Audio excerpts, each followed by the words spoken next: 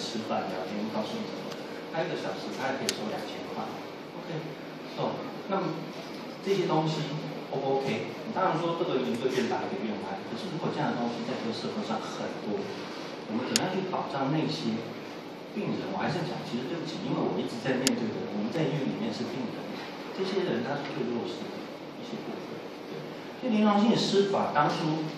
确实是透过这部分，它它最后其实是由行政院卫生署，当时是卫生署去做一个提案，啊，卫生署在跟临床性师这样子，然后讨论以后弄出一个临床性司法的版本，然后正式的由行政院往立法院提案通过，进入到委员会以后，然后就是进入到后面有临床跟智商很合并起来的问题这样子。那我觉得应该还是让更多人讲。那您先说吧。我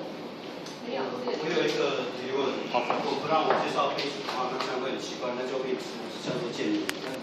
OK，我想请问黄心理师，在医疗专业建制结构下，所谓的医生作为医院里面的大咖，没错吧？他们是没有所谓你所说的 scientific and practitioner 的一种训练，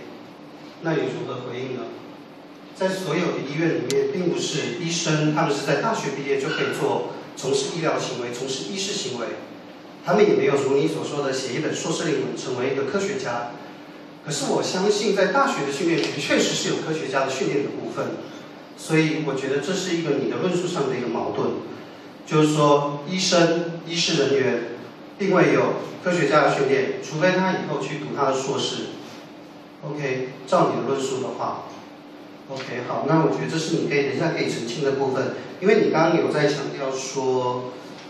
一个 scientific 的那个很主要的这个部分在强调这件事情，所以我会想要对这个部分有一个提问，一定都要是 scientific 跟那个 practitioner 的这个模式吗？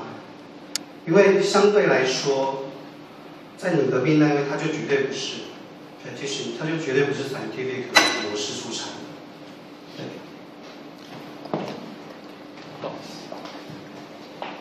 谢谢这个提问，我想我直接回应。Scientific practitioner 是临床心理师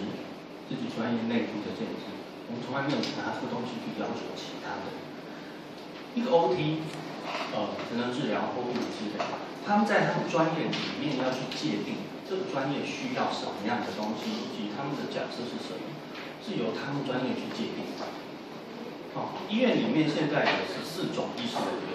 哦，最新的包括压力治疗、助产。他们都会在他们的专业里面去建制，他们认为他们的专业需要什么东西，所以我想我必须要回应，是并没有在说医生他们需要什么训练，医生的训练是医生他们自己决定的。